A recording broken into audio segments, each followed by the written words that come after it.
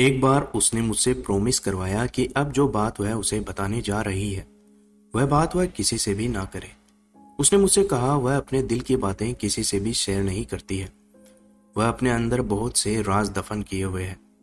वह कहती थी, उसका दिल एक पुरानी हवेली है, जहाँ बहुत से राज बंद कमरों के पीछे हैं। वह कुछ जानती थी, लेकिन ऐसे दिखती थी जैसे उसको कुछ मालूम ही ना हो। अब मुझसे रहा नहीं जा रहा था।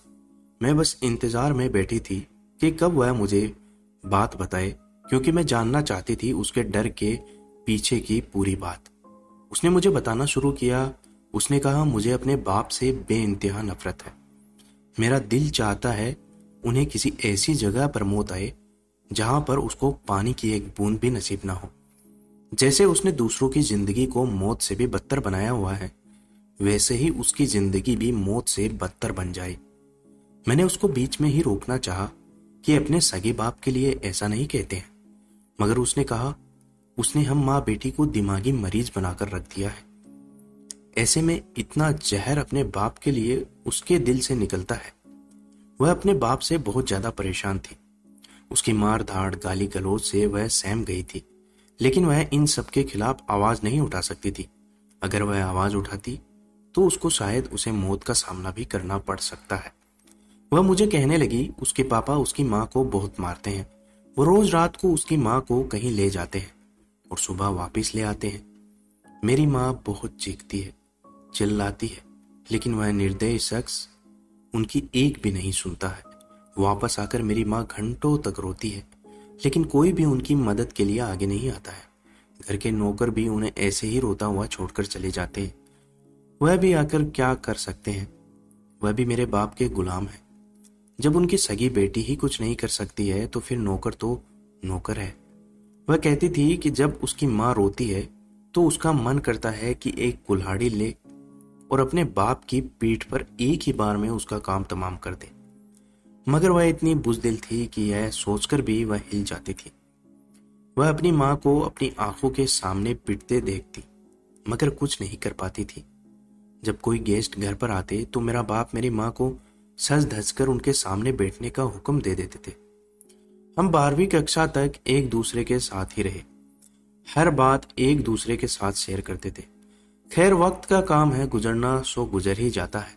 और एक दिन वह वक्त भी आ गया जब हम दोनों को एक दूसरे से जुदा होना था। हमने बारहवीं कक्षा पास की। अब हमें कॉलेज में जाना था। हसीना का एडमिशन एक बहुत ही बड़े कॉलेज में उसके बाप ने करवाया था। वह कॉलेज बहुत बड़ा था। मेरे पापा इतनी फ़ीस नहीं दे सकते थे, इसलिए मैंने उस कॉलेज में नहीं जा सकी। हसीना ने मुझे बहुत कहा कि मैं उसके साथ ही एडमिशन उसी कॉलेज में ले लूँ, लेकिन मैं ऐसा नहीं कर सकती थी।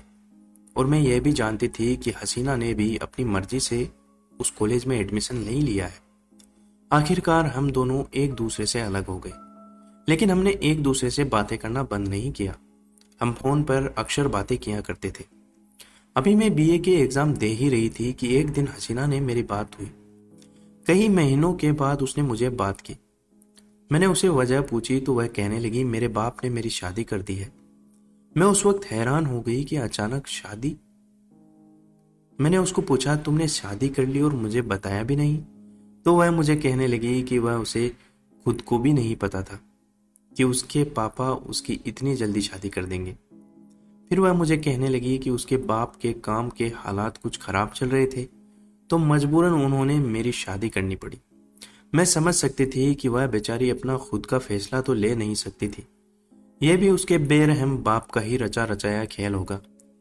फिर मैंने उसे कहा कि वह मेरे से बातचीत करती रहा करे, क्योंकि जब भी वह मुझसे बात नहीं करती है तो मुझे एक अजीब सी टेंशन रहती है, क्योंकि उससे इतनी गहरी दोस्ती हो गई थी। लेकिन इसके बावजूद भी वह कई कई महीनों तक मुझसे बात नहीं करती थी। कभी कभी मैं यह सोचकर खुद को तसल्ली देती थी कि अब वह शादीशुदा है। उस पर खुद की जिम्मेदारियाँ हैं। जब भी उससे बात होती तो वह बस थोड़े समय के लिए ही होती। मैं अक्सर उसको छेड़ा करती थी कि तुम इतने महीनों के बाद तो बात करती हो और वह भी सिर्फ़ थोड़े समय के लिए। मैं उसे अक्सर पूछती थी कि तुम खुश हो। वह कहा करती थी हाँ मैं जवाब देकर चुप हो जाती। लेकिन न जाने, दोस्तों, आपको यह कहानी का सेकंड पार्ट कैसा लगा कमेंट करके ज़रूर बताइएगा। चैनल पर नए हैं तो चैनल को सब्सक्राइब ज़रूर कीजिएगा। धन्यवाद।